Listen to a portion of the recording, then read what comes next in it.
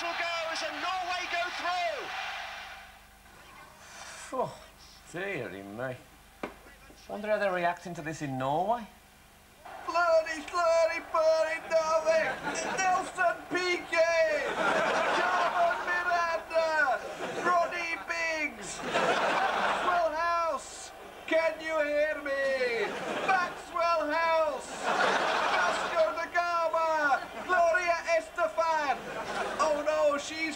Cuban! Terry Gilliam! Alan Brazil! Your boys took one hell of a beating! Your boys took one hell of a beating! Pele! Pele! You won't be shagging around tonight!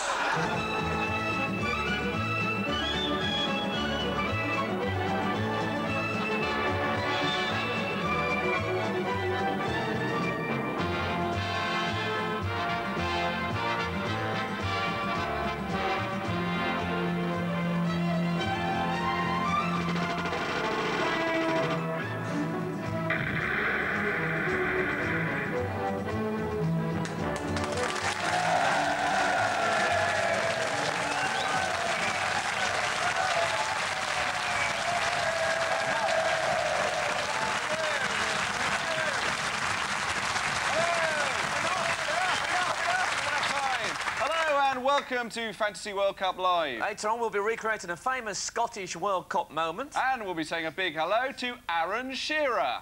Hello, I'm Aaron Shearer. hello! And tiresomely, he really is called Aaron Shearer. the AOL card. Yeah. Whatever that is. Whatever that is. We don't know what that is. But anyway, here's a few things we've noticed from watching the World Cup over the last couple of days. Now, I think Scotland could have beaten Morocco if only they'd kept their heads on the bench.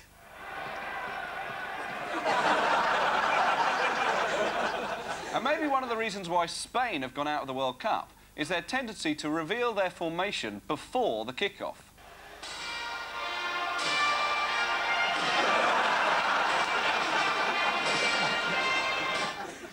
And Kasey Keller, the American keeper, is a really good player, but he does sometimes dive a little bit late.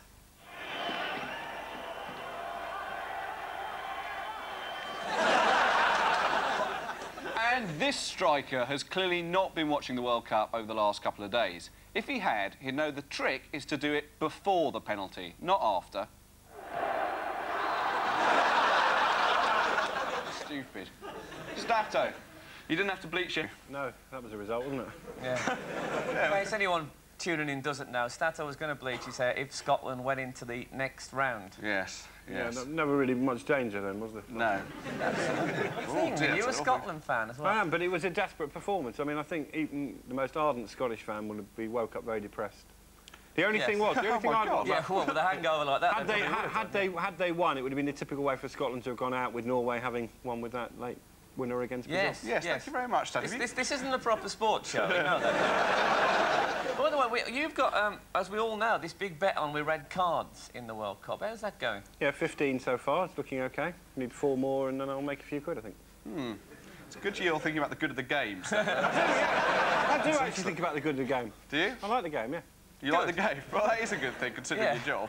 One or another. OK, now, um, Stato, as you may know, is also a uh, commentator on Eurosport. Yeah. Are you not? And we think you might have another bet on. In fact, we think you could have a bet on with Glenn Hoddle at the moment. If it became one situation, then we really would have a, a fascinating situation because uh, we'd actually have a lot situation.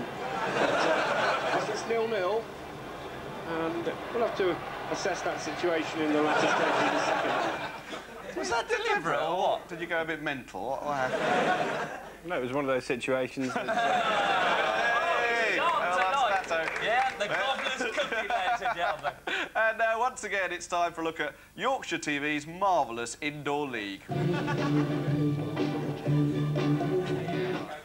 As you know, Indoor League was introduced by Fred Trueman, who always started the show by saying, Now then. Now then. Now then. He always went into the break by saying, I'll sit it. I'll sit it. And he always came back from the break by saying, Hey up. and milk. and then always ended by saying I'll sit there. again because they couldn't think of a fourth one. They did, they did try a few other ways of saying goodbye, but it didn't really work. Fuck off.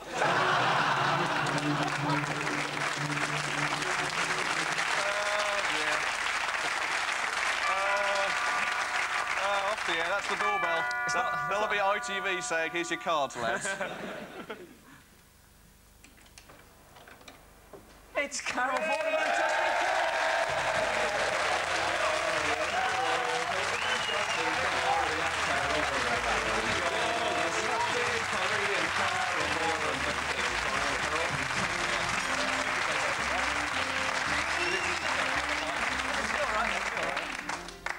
you brought Hello, some it's tea, Carol. Yes, well, we thought we'd had quite a few people on who were very badly behaved. Thought we'd bring in team biscuits. We're being polite. Yeah. Right. Oh, that's, that's lovely of you. It's very nice, isn't it? Yeah. I mean, if John Lydon had brought tea, he'd just have thrown it in our faces. So I don't think- tea in itself is great. But that's. no- Oh, by the way, Justin, I've got to say straight away that um, Scotland didn't really obey what you told them in your song.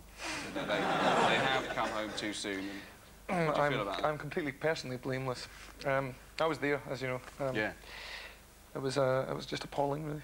Hmm. There were tears. Actually, we all, everybody I was with started crying. I mean, grown men were crying. Were you singing the song at the time? we were thinking of your song. Oh, right. That's the thing about songs. It's good because you put "Don't Come Home Too Soon" and they did come home too soon, and we of course put "Gazza Good as Before" Yeah. in our song. so they won't listen these footballers. Well, will? Gazza has almost been as good as before. Yes. Um, by virtue of not being. It was very sad, though, to see the Moroccans, wasn't it? You know, they were there, fire, fantastic. And then, obviously, when they heard. yeah. No, I thought that was really funny. Peter, don't be It's so not cruel. often you see two teams really, really depressed at the end. It was a double Well, whammy. Spain tonight as well. Yeah, well. Spain Okay, six then, goals. who is a joke? Who was the most depressed man in the world after the Scotland-Morocco game? I don't know who was the most depressed man in the world after the Scotland Morocco game. Arab C. Nesbitt. Hold on, hold on. Oh. Oh. Not working, forget it. Okay. Did you think the Moroccan coach looked like um, Melvyn Bragg, Lord Bragg? He had a kind of swarthy Melvyn Bragg look about him. Melvyn Bragg, our lord. Yeah, he's a lord now. Is Did you miss that? Yeah, Lord, Yeah, yeah. totally missed oh, you that, missed that. Yeah. you were away too Black long. armband, by the way, that's because of. Scotland, isn't it? Yeah, I'm. It's not because you're about to take some heroin. I'm grieving. no, I've done the heroin. Oh, right. Um, So what you did know you... that indoor league that you've just been showing? Little Yeah. known TV fact here, but the producer of Countdown, who was our producer for many years, was actually the man who brought indoor league to television. Is that Lord. right? Yeah. Good Lord, you must meet Stato with that kind of... Outrageous. Well, Stato's the man for me, you know. Is he? Yeah. Match Is it? made in heaven, I would Oh, say. blimey. Don't you think, Stato? Oh, dear. Don't you think? Yes, I can see him on Tomorrow's World. Tomorrow's World, if you're not careful. Uh, I'll tell you one thing about the Scotland game, which is, according to two of our viewers, Ed Barnes and Joel Cutting of Ipswich, Gordon Durie did actually get one shot on target in the Morocco game. If you assume that his target was this photographer behind the goal. Watch this. Durie. That's a good try.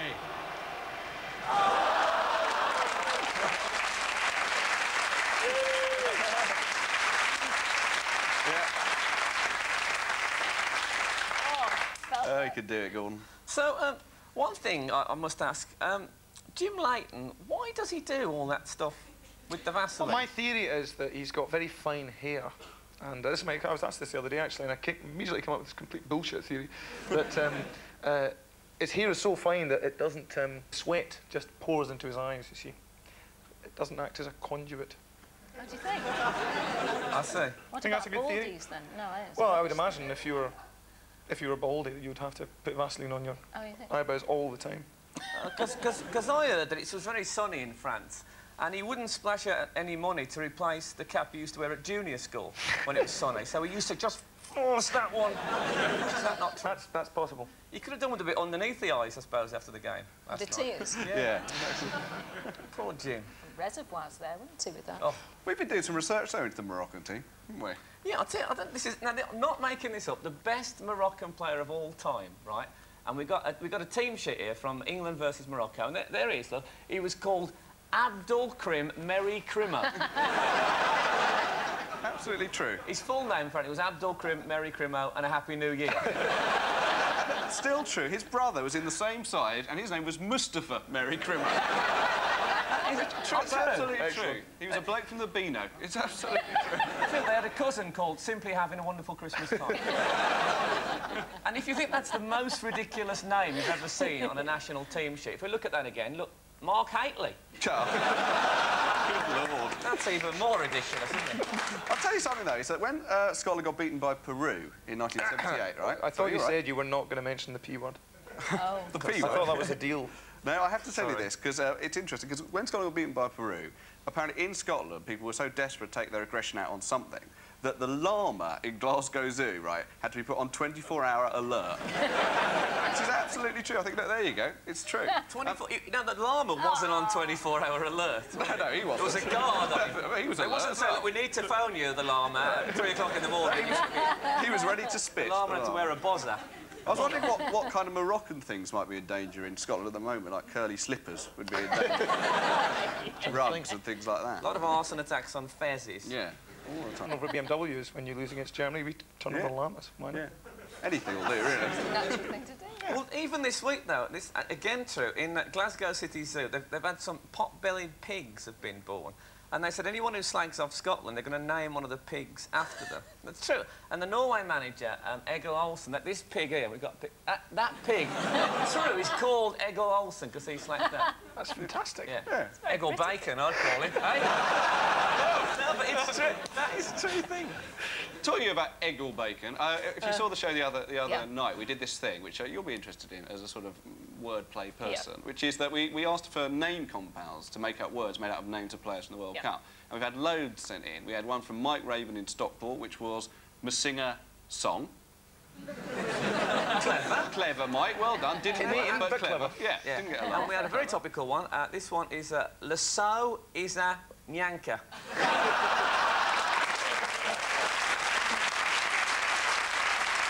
That was, uh, that was from someone called Virgil. Yeah, From the, uh, No, that's a made-up name. the- yeah, the- the Thunderbird. Yeah, exactly. Um, and this one, look at this one. This is from Andrew Barnes of Now, Rugby. this is right? a this is very masterpiece. odd. Now, it This just, is a it masterpiece. just looks like nonsense when you see it, but actually it's a tale of an upset stomach, right? And you have to read it like this. Oh no, had a tricky egg, and I poo a job. Houghton. That's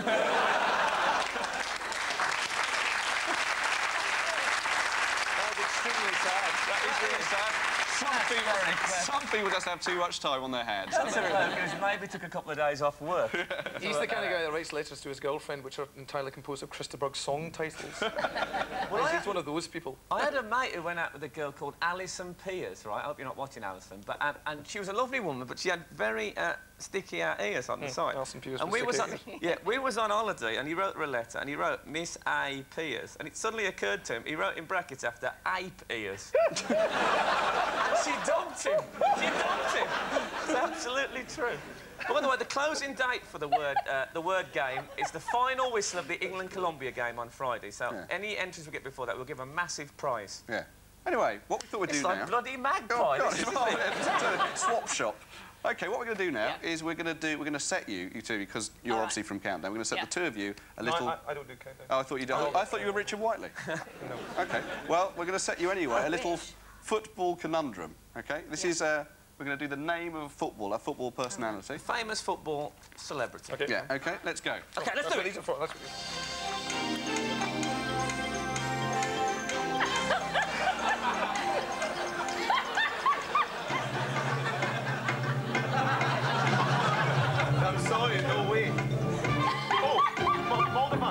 You got it? What do you think? Yes. No, Moldovan. no, Moldovan. No, What do you what's think? yours? No? Uh, look, I was thinking of Lavoy something. After Harry, you- After Harry, Here we let's go. go for it.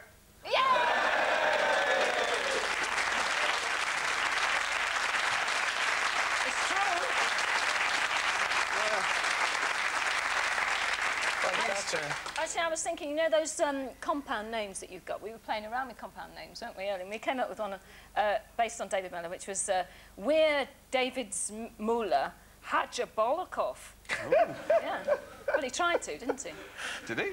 Didn't he? I don't know. We thought it was funny at the time. Yeah. I- Anyway, uh, do, do you watch much football, Carol? A little bit. Yeah. Yeah. You- I like things like Euro 96 World Cup and so on, yeah. Yeah. But I don't go to matches, I have to say. I used to, but not anymore. I used to go and see Leeds United play. I don't know if you've When I lived noticed this. Oh, come on. I've always felt that football violence started at Leeds United. Yeah, And I, it's s- I was there when spread actually... to the terraces. Yeah. it's that indoor league again, isn't it?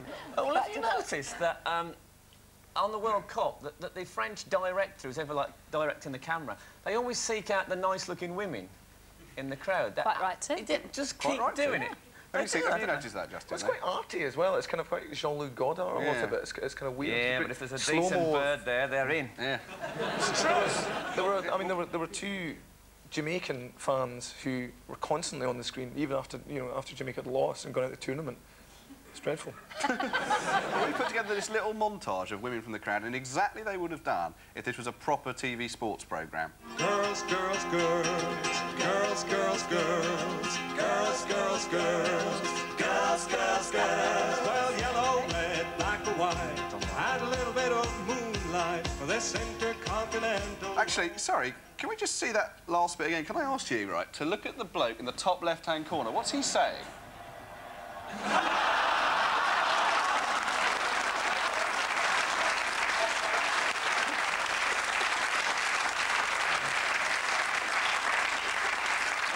I bet he didn't. I bet he No, comment. No. No, not at all. No, I don't think he did either. You all right, Frank? You all right?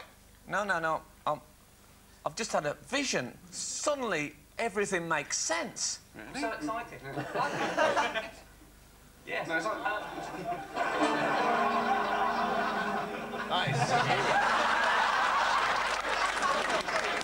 Good lord. That is scary. All Sydney.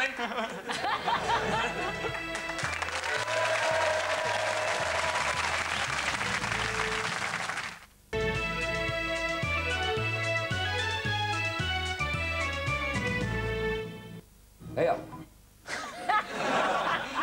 much, Fred. When was that? When was that on that show? When was Was it it on? at all? 70s? 70s, yeah. yeah. Used to, it was just after the Sol. Did you have the Sullivans in Scotland? No, I don't think so. No, not even the Neil Sullivans.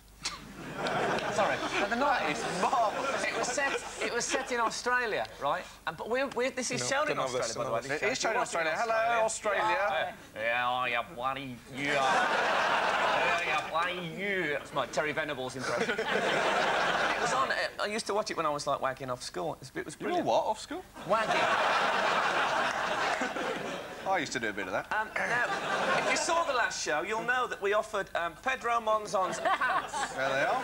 That's These a are bad pants of pant. the first man to be sent off in a World Cup. That is a really bad pant. It's Yeah. a really bad pack. We have a rule in our band, anybody with a bad pant, Out. off the tour. But he's Argentinian, you know. Times are hard out there. What do you wear? I, the I thing is, my What if he boxer tucks his brief. junta into them?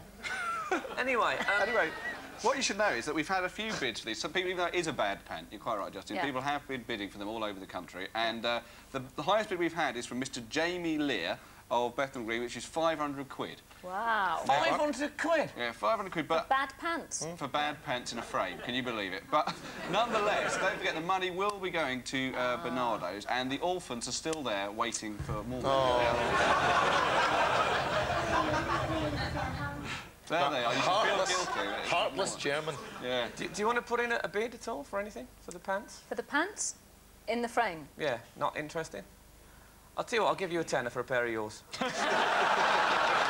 Oh dear. Sorry. Are you going to wag into them? Sorry. Oh, I'm sorry. Gone too far. I do apologise. Dear, dear. Yes, Uh, let's move on. how do you wag off an entire school? Yeah, no, no, don't. I did the joke about being able to smell the conundrum. Don't. Now listen, Now listen. Yes. Don't- I'll tell you what. I'll tell you. keep up or go home. What? What? What is it? What? We didn't What is it? notice. I'll tell you. I'll tell you what gets on my wit. I'll I've tell you just what- seen Emma Noble in the audience. Yeah, she's changed, hasn't she? I'll tell you what, I don't like. I don't, on ITV, like Yeah. in between the coverage before the adverts, they have Yeah. these little adverts Oh, the for Vauxhall Vauxhall things. things, and they are terrible, aren't they? They really annoy me. But we've got a new game that me and Frank are playing, right? What we, We- do when we watch a game, we Yeah. try and pick the moment that'll end up as a Vauxhall advert. Yeah, and there was a moment. Yeah, there was a moment in last night's game which I'm sure eventually will be a terrible Vauxhall ad. Okay, okay. Yes, now the windscreen wipers go like this. They're very efficient. oh, yes, a room in the front of the car. Oh, yes, yes, it's an immensely spacious car. And the wheels go round and round like this.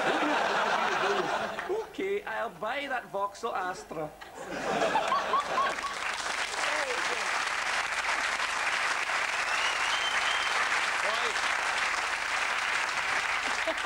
We'll see. Yes.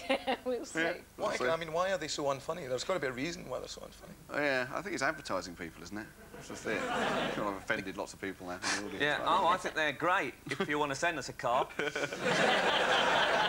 Actually, we, we had a fact. I've got an hair in my mouth. No, have you? I ate that. No, don't. Oh, no, I was, No. no. I was going to make a joke about, No. about your pants, Carol, but I'm not going to. No. Um, I was going to say Klinsmann's wife, 1996. oh, no. Uh, we had this set of facts from Rob Hale from Swindon, who asked, where do you get all your ideas from for the show? Which is the uh, question you get asked, well, you probably get asked that about your songs, whatever. Yep. Yeah, That's how it's- we, don't, we never had any ideas, so... Yeah. well, I t- we thought we'd try and explain, actually, which is what we'll show you how, how a joke works on this show. Okay. We were watching Cameroon Chile the other day, Yeah. and they had this shot of the Cameroon manager, Claude Leroy. Uh, it's Claude Oh, So I said, look at that shirt on Claude Leroy. Is that what they call a Claude Leroy shirt? And Claude it's- Leroy. yeah, Like Claude, right?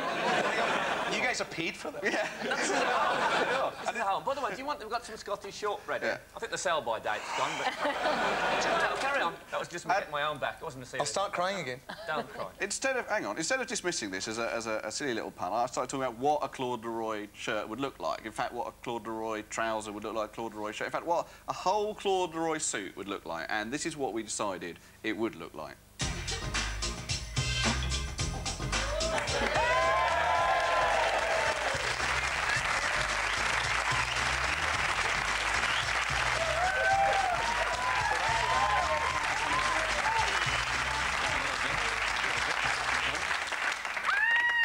That's great. Yeah.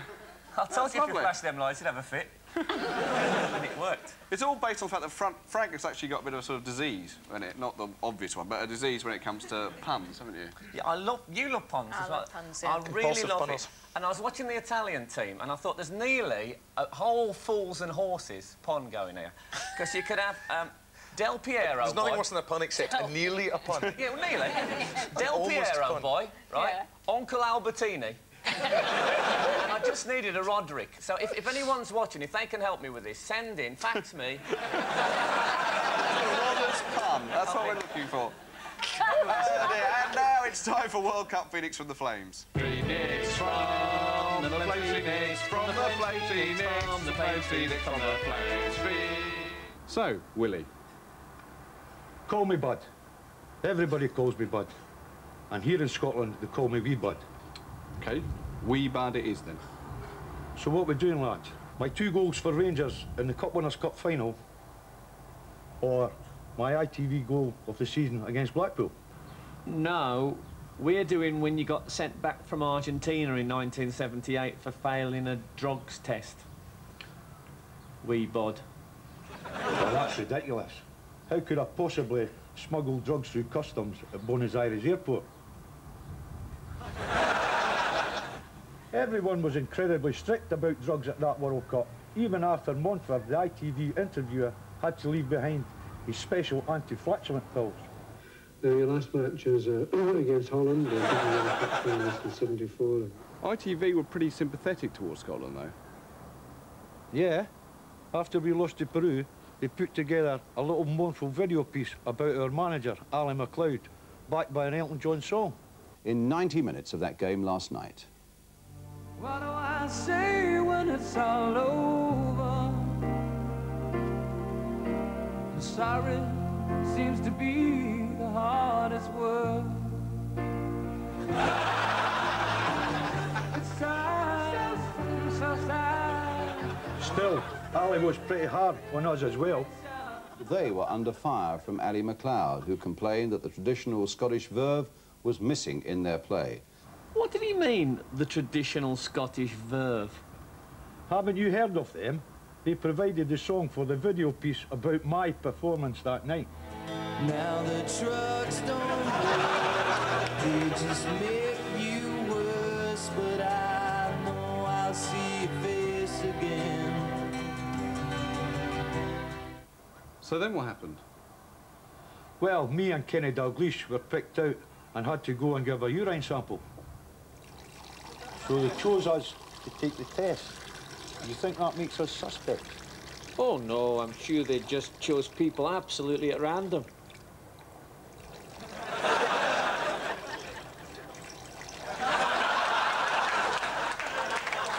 Anyway,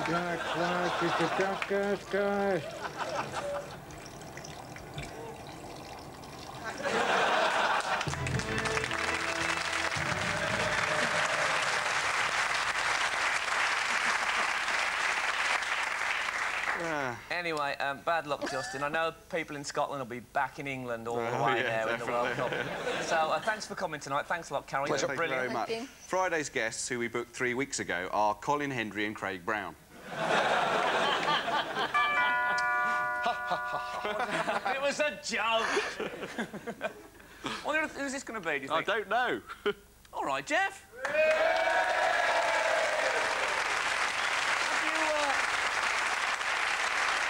Have you, uh, have you come as Abdul Karim Merry Crimmer? I sure have. So, are you going to uh, sing a song to bring the England lads good luck on Friday night? I sure am. Jeff Astle, ladies and gentlemen.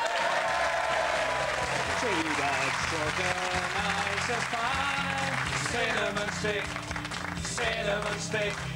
See that twinkle in her eye. Cinnamon stick, cinnamon stick. Sweet as sugar, nice as pie. Cinnamon stick, cinnamon stick. See that twinkle in her eye. Cinnamon stick, cinnamon stick. Well, I've never seen her sweeter and her life goes by. She holds me tight, it's out of sight. Then I tell her that I'll beg her till the day